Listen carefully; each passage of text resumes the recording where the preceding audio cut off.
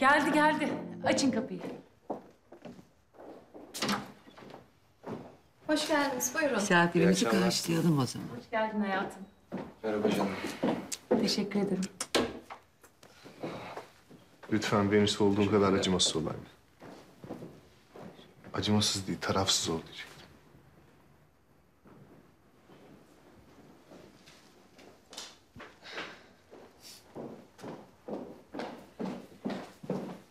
Anneciğim. Hoş geldiniz Güney. Hoş bulduk efendim. Nasılsınız? Teşekkürler. Barış, merhaba. Hoş geldin. Yemekten önce bir şeyler almak ister misin? Ee, beyaz şarap olabilir aslında. Bir tercihiniz var mı efendim? Chardonnay lütfen. Ben de ondan içiyorum. Banu annemin sevdiği şeyleri önceden dikte etmiş bakıyorum. Şarap içmeyi Atilla Bey'den öğrendim ben. Ama tabii Baum'dan da, Ebru Hanım'dan da, senden de öğreneceğim daha çok şey var. Bunu duymak güzel. Sen yemeğe kalacak mısın? Tabii ki. Teşekkürler. Buyurun.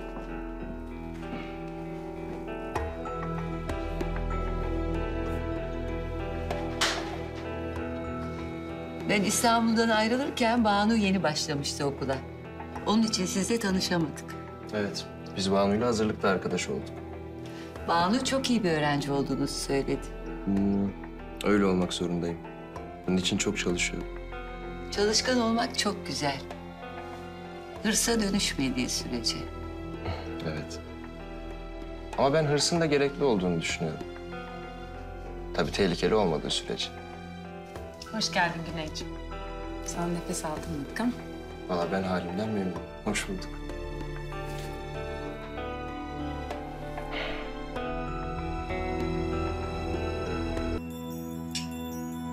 İyi bir golfçü müsünüz? Hem de nasıl? Hayır. Ben teoride çok iyiyim sadece. Pratik yapmak için zamanı bekliyorum. İnsan alışkanlıklarının eseridir bence. Mesela hayatında çok özel başarılara imza atmış birinin nasıl farklılıklar yarattığını anlayabilmek için önce alışkanlıklarını izlememiz gerekir. Atilla Bey de özel bir insandı. Babamın iş hayatındaki tek zaafı...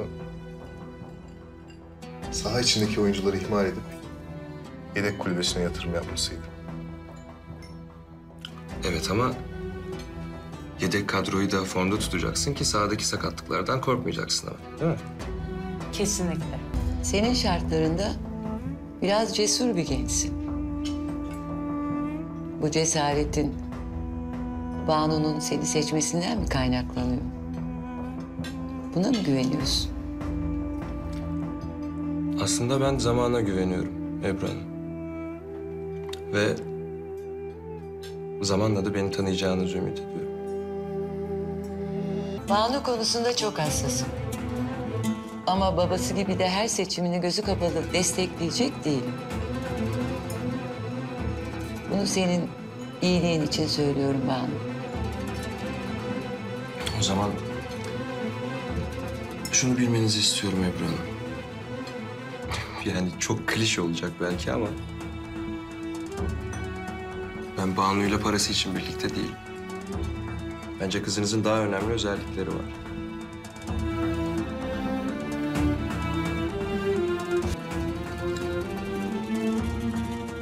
Ben her şeyi kendim başarmak istiyorum.